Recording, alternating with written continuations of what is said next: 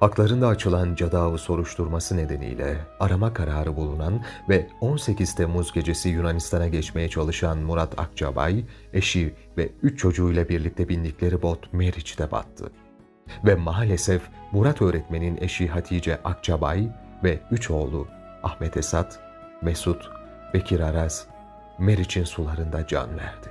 Botta ikisi kaçakçı olmak üzere toplam 11 kişi bulunuyordu. Uzun aramalar neticesinde anne Hatice Akçabay'ın ve bir yaşındaki oğlu Bekir Akçabay'ın cansız bedenleri birbirine sarılı vaziyette bulundu. Aynı aileden 7 yaşındaki Ahmet Esat'la 5 yaşındaki Mesut'unsa aradan yıllar geçmesine rağmen hala cesetlerine ulaşılamadı. Murat öğretmenin sağ kurtulduğu mahşer dediği o geceyi şöyle anlattı. Plastik şişme bota 9 kişi olarak bindik. İki kaçakçı da en son bindi. Toplam 11 kişi olduk. Nehrin ortasında kaya gibi bir cisme çarptığımızı sanıyorum. Bot delindi. Kendi etrafımızda dönmeye başladık. Bir anda bot devrildi ve suya düştük. Diğer aile hemen nehrin sağ bölümündeki dallara tutundu. Ben ve eşim çocukları tutmaya çalışırken nehrin ortasında kaldık. Küçük bebeğimizi eşim tutuyordu. Diğer ikisini de ben tutmaya çalıştım. 7 yaşındaki Ahmet Esat'ta can yeleği vardı. Biraz suyun üzerinde durabiliyordu ama diğeri suya battı. Eşim de akıntıya kapıldı gitti. Uzakta bir ağaç dalına tutunduğunu gördüm. Hatice sakın dalı bırakma seni gelip kurtaracağım dedim. Dalgalara karşı koymaya çalışırken onun aynı yerinde olmadığını gördüm. Seslendim, bağırdım ama bir daha seslerini duymadım. Çocuklar gitmiş. Hatice gitmiş. Bir ses duydum. Hatice sen misin diye bağırdım. Benim dedi.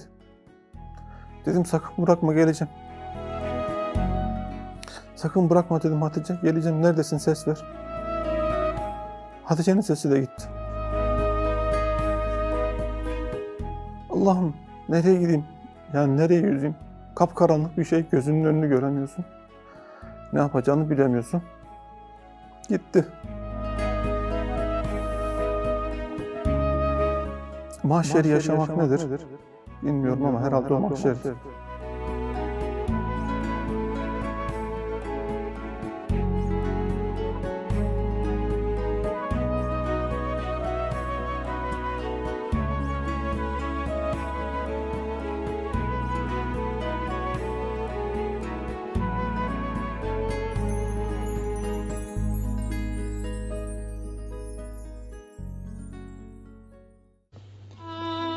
Adı hicret,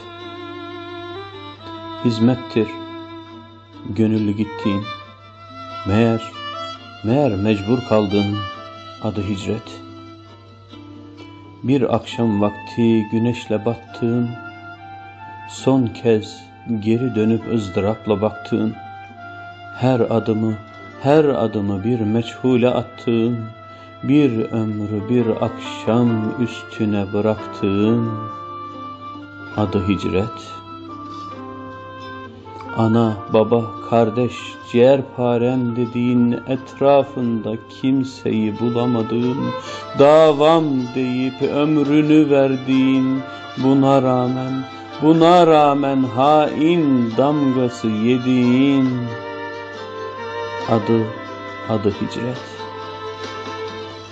Yere göğe sığdırmadığın, yerine göğüne sığmadığın, bir karışına bin canın feda ettiğin, bir avuç toprağı esirgenip öldüğün, adı, adı hicret. Ekmeğim, suyum, her şeyim dediğin, ekmeğe, suya muhtaç terk edildiğin, yaşatma sevdasıyla nefes alıp verdiğin, yaşam hakkı elinden alındığın adı hicret. Evlatların ve sevdiğinle yola çıktığın bir akşam ezanıydı ki belki bu son dinlediğin, ver elini sevdiğim Allah kerim dediğin, eğer bir şey olursa hakkın helal ettiğin, adı hicret.